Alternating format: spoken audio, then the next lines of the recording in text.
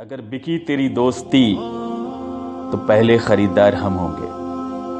तुझे खबर ना होगी तेरी कीमत, पर तुझे पाकर सबसे अमीर हम होंगे। दोस्त साथ हो